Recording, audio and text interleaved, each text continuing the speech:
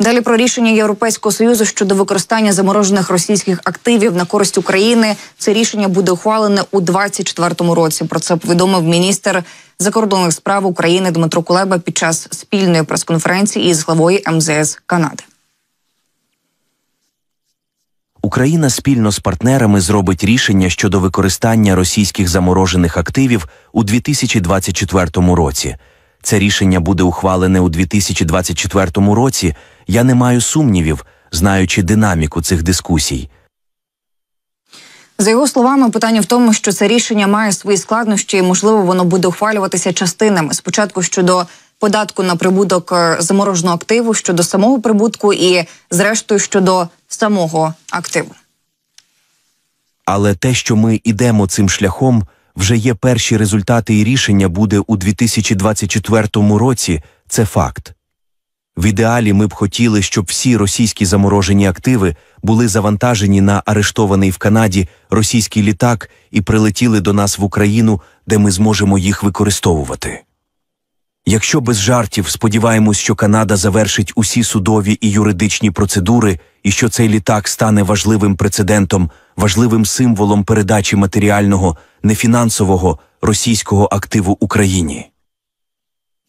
Далі про детальніше конфіскацію активів РФ на користь України. Нещодавно нагадаю, посли Євросоюзу досягли згоди щодо використання прибутку від заморожених російських активів для допомоги Україні. Також повідомлялося, що дипломати своїм рішенням дозволили переказати доходи від активів країни-агресора на окремий рахунок. Наприкінці 23-го року західна преса писала про те, що США запропонували країнам Великої Сімки конфіскувати ці заморожені російські активи у розмірі 300 мільярдів доларів на користь України. Такий план, нібито мають намір узгодити до другої річниці повномасштабного вторгнення російських окупантів в Україну. І далі про найбільш нахабний витік даних екс-агента ЦРУ Джошуа Шульта засудили на на термін 40 років за розкриття відомостей про таємні хакерські програми спецслужби на платформі Wikileaks. Про це повідомляє BBC. Звинувачення прокурорів полягає в тому, що він розкрив інструменти Volt 7 ЦРУ, які надавали співробітникам розвідки можливість злому смартфонів і використання їх як прослуховувальних пристроїв. Прокурори зазначили, що цей витік є одним із найбільш нахабних в історії США. 35-річний Шульте передав Wikileaks близько в розмірі 8761 документ в 2017 році, що є найбільшим витоком даних в історії ЦРУ, зазначили в міністерстві юстиції США.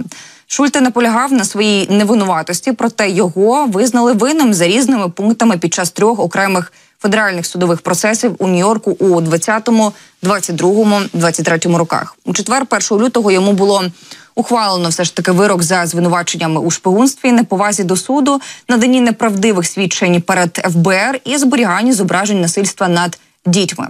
Прокурор е, Деміан Вільямс сказав, Джошуа Шульте зрадив свою країну, скоївши одні із найбільших нахабних огидних злочинів шпигунства в американській історії. Згідно із доказами, представленими в суді, Шульте працював. Ем, таким собі розробником програмного забезпечення в центрі кіберрозвитки, який займається кібершпигунством проти терористичних організацій та іноземних урядів, за словами самих прокурорів цей витік зашкодив здатності ЦРУ збирати зовнішні розвідання проти супротивників Америки, поставив персонал програми та активи спецслужби під пряму загрозу і коштував їй сотні мільйонів доларів.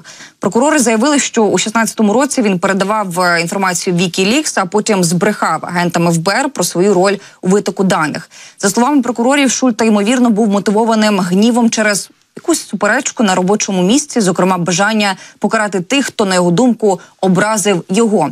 ФБР кілька разів допитувало Шульте після публікації даних, але він заперечував свою відповідальність. Прокурори стверджують, що після арешту Шульте намагався передати ще більше інформації. Він проніс до в'язниці телефон, з якого хотів надіслати журналістові інформацію про кібергрупи ЦРУ і писав твіти, які містять інформацію про кіберінструменти ЦРУ під ім'ям вигаданого оперативника розвідки. Шульте перебуває за ґратами з 18-го року. Нагадаємо, що раніше ще в мережі з'являлися секретні документи, в яких розкриваються питання щодо співпраці США з Україною, відносин з Китаєм і дані щодо діяльності на близькому сході.